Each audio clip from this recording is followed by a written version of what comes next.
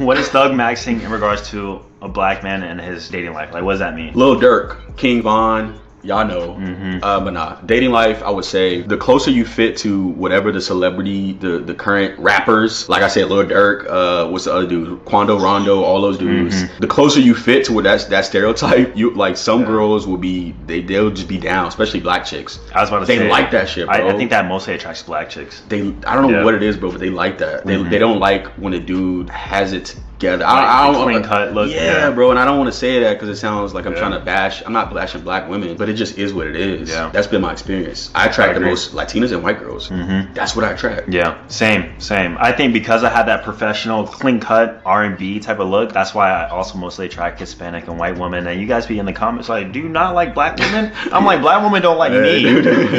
like black Listen, women. Don't. Man, in this world, you take you, you get what you go where you really want it. Yeah, wherever you want it, that's where you go. Bro. I attract. I don't chase space. Yeah, dude. So I attract, you know, what's into me. Now